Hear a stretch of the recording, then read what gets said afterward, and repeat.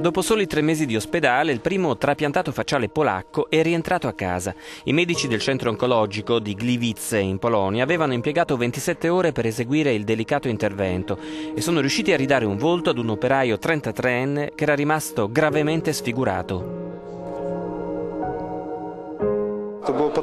Si è verificato un grande rischio senza precedenti in analoghe operazioni. Non avevamo la giusta immunocompatibilità e il giusto antigene per l'istocompatibilità.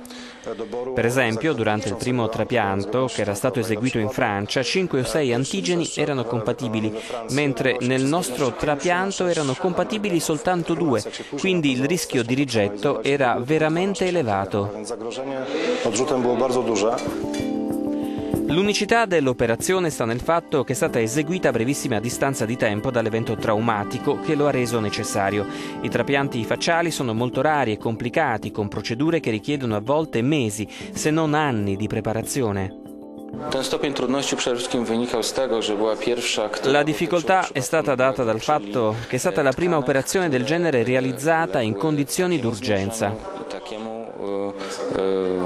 Il tessuto era stato così danneggiato che non sarebbe guarito fino al momento di un'operazione programmata.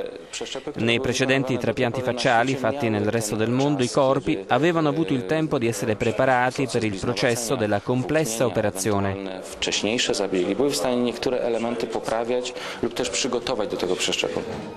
Il paziente ha fatto enormi progressi, può leggere, sentire i sapori, un po' anche gli odori. Resta difficile poter parlare perché i muscoli facciali hanno bisogno di tempo per tornare ad essere mobili. Dal 2005 ad oggi sono state trapiantate così in tutto il mondo circa 24 persone.